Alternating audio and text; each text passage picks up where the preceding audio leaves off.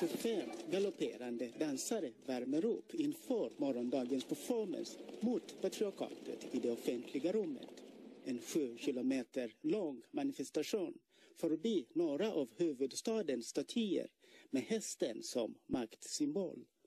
Om man tittar på stan vilken skulpturpark vi har så är det, det är några män på hästar och några andra män och de flesta kvinnor som finns de är nakna och ganska små.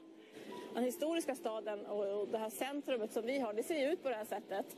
Och det är vår historia såklart. Men då är det också viktigt att tillföra sådana här tillfälliga saker tycker vi. Jag har gjort tillfälliga saker i stadens rum där folk senare flera år har sagt att varenda gång jag går förbi den här platsen så tänker jag på det här som hände och har med mig det. Så att sådana här saker är betydelsefulla tycker vi.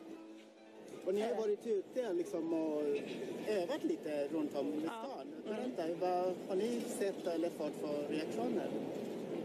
Ja, men det vi har sett är när det kommer en stor grupp med kvinnor som tar plats på liksom ett starkt sätt och visar en styrka så är det nästan lite provocerande. Att folk reagerar och tittar, det är inte så himla vanligt. Det behövs en motvikt till alla stora horder av män som intar staden på olika sätt. Det här är en, en, ett alternativ kan man säga.